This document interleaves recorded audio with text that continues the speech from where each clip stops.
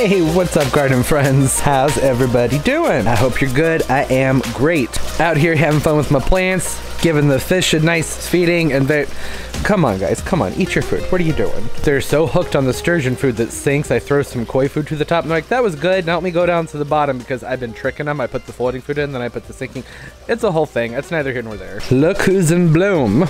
Would you please? No, you don't want to. This is my Aphelandra sinclairiana, also known as the Panama Queen, the Coral Aphelandra, the orange shrimp plant, which is, I don't know.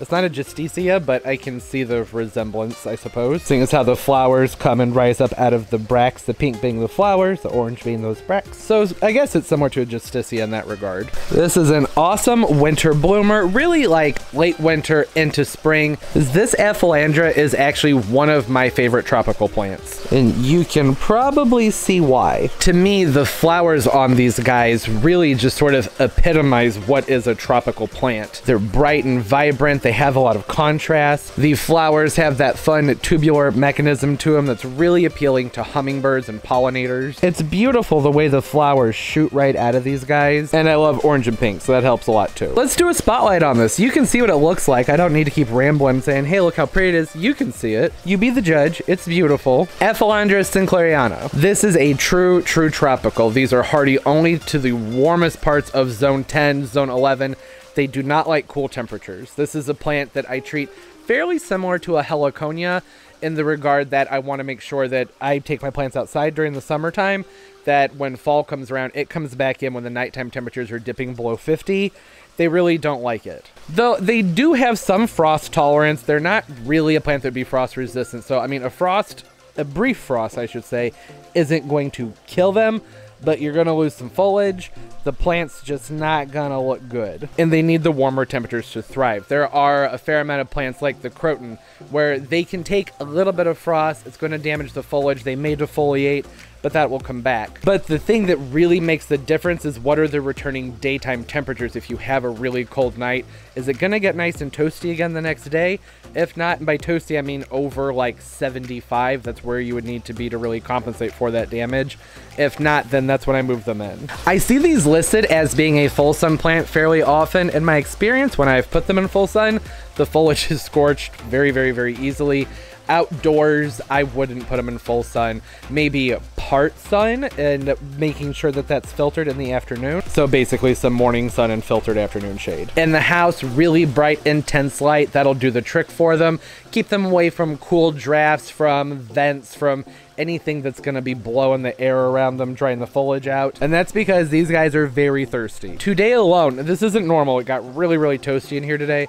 But today alone, I've watered this Aphelandra four times, which I know is crazy, but that's also the potting mediums and draining and drying a little bit too fast. I do think in the summertime I'll be repotting this into something that's a little bit more moisture retentive. Probably not too much though. They do not like wet feet. But kind of like a lot of other houseplants like a pothos, when they're dehydrated, you know immediately. These leaves, they droop, they hang down, and then you water it, they perk back up.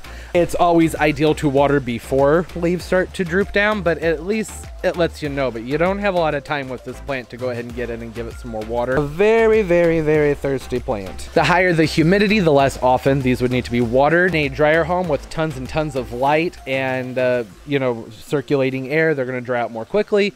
So you have to water more frequently. And the humidity out here has been a little bit low, but it's starting to pop back up because I just did a watering. Humidity, I think around 50% and up will keep you from having to water them very often. They dropped to 37, and that's my fault. It got so hot in here that I actually opened the doors. If you don't know, if you're new here, hi, hope you're well. I'm in my garage that I wrap an area in plastic. That way I don't have to heat as large of an area, but it's like 20 degrees outside. And when it started getting towards 90 in here, I was like, okay, that's not gonna work. I popped the garage doors open for a few minutes to help cool things off, but that dry winter air drew it doesn't matter. That's why I had to water it so much today. Typically with the temperatures in the mid to upper 70s and low 80s, I probably water this guy, I would say every other day to every two days. And in a more moisture retentive potting mix, I would probably only have to water it, I would say, well, probably still like twice a week. These guys get about 10 feet tall, 5 to 10 feet wide. Best time to prune them is right after they're done blooming. I usually like to let my plants rest a little bit after a bloom and you just cut them right underneath the, oh no, losing a flower there. Right around there, that's going to encourage some more bushy full growth. I like to make my pruning, my cut right below the flower bud, maybe even another section below. So somewhere probably I'd say three to four inches down from the flower. At times, just like with a justicia, if it starts to get really, really leggy, you can cut a third to even half the plant back, and that will also encourage lots of new growth to come out from the sides of the stems down in there. Unlike the Aphelandra squarrosa, the zebra plant, that's this one right here, Aphelandra squarrosa, zebra plant. Unlike this guy, Sinclairiana is considered to be toxic. I've heard both with the squarrosa, but more often than not, uh, people say it's non-toxic. But with something like this, I'm still cautious because they drop leaves fairly easily, and it's something I don't want to, I have to make sure it's not like stuck to the bottom of my shoe or something because a cat will run up to it and chew on it. So keep it away from pets and children, or anyone that might chew on your plant. The flowers are pretty long lasting on here, which is another great thing. Not only is it fantastic because there aren't a lot of plants that do a lot of flowering during the winter time, but the way they start things out when these buds start to pop up, these beautiful orange cones, it takes a fairly long time. These have been coming up for probably roughly, I'd say, about a month. And it wasn't until this week that they actually started to push flowers out from those buds. The flowers will rise up gradually, starting from the bottom all the way to the top, similar to like a bromeliad or a justicia. And once they reach the top, that flower is going to die off. These are pretty easy to propagate also. Really, uh, leaf cuttings is fine. You don't even need a very big one, just a few inches of stem. The main thing to remember when you take a cutting is that you go ahead and make sure you have a few inches of stem, may have to trim off some of the petiole from where it meets the stem. And then once you have that into the, if you're going to use like water or a moist soil, whatever you're doing, that the humidity needs to stay high. That's fairly true for rooting pretty much anything. Moisture loving tropicals, I should say. There are tropical cactus and succulents and things like that that still are on the more arid side. But these guys specifically, it would be good to go ahead and keep a bag over it, a plastic cup, something, put it in something to keep the humidity up. I will be taking cuttings from this and doing some propagation with it. Once these are done flowering, which I think that this should stay in flower for probably about, I'd say, two to three weeks. And so when that's done flowering, I will be taking clippings off of here, and I may as well try and propagate those. Oh, hey, hi, autofocus, what you doing? There we go. Like I mentioned before, these are a great plant to have around for pollinators. I know I made it sound like this was a fair, like, kind of a complicated plant.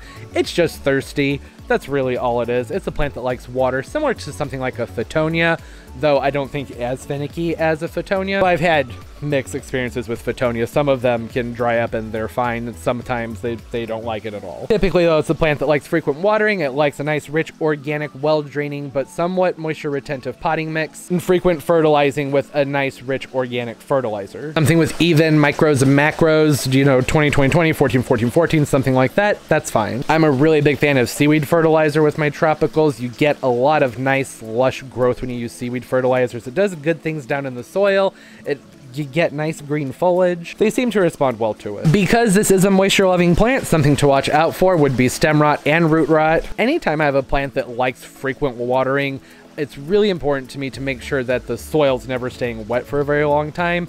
With this, I mean, the reason it wants to be watered frequently is because it's soil drying out a little bit too fast. So Shouldn't be an issue with this guy. But if you have an Aphelandra and you're noticing you have to water it and water it and water it, then you start to see some yellowing in the leaves, some spotting, go ahead and cut it back. It would be better to have a dehydrated plant than a plant that has root rot or stem rot. That's just because you can bring them back from dehydration so much more easily than you can some type of rot. They're susceptible to your typical pests, mealybugs, scale, whitefly, aphids, really kind of all of the above. Because they're a fairly vigorous grower though, one great thing is they do seem to transport systemics fairly well, which is nice. Systemics can be hit or miss with a lot of plants because there's a lot of variation in how they take it up. That's pretty much it. I just wanted to spotlight this guy and show it off. Or girl, or them, non-binary friend. It's alright, you be you. It's one of my favorites. Super tropical, lovely, no fragrance. Probably should have mentioned that before. I haven't noticed any type of fragrance, but that's okay. When you're this pretty, you ain't gotta smell good as long as you don't smell bad. Have any of you guys grown the Sinclairiana? Let me know. Comment down below. Or you can hit me up on Instagram at Tropical Plant Party. Follow me and I'll follow you back. I really have a fun time connecting with everybody on there and looking at each other's pictures. It's a lot of fun being plant nerds together. And don't forget to leave the video a thumbs up. Let the likes help the channel a lot, help the videos a lot. I really do appreciate it. And I do notice it, so thank you very much. And subscribe as well. I upload multiple times a week, so don't forget to hit that notification bell. That way you know when new videos come out. If you have anything to add, be sure to put it down in the comments. As always, hope everybody's doing well, I'm gonna go ahead and stop talking now because there's gonna be more to talk about with this plant with repottings and propagation. For now, just kind of want everybody to see it and talk about it a little bit.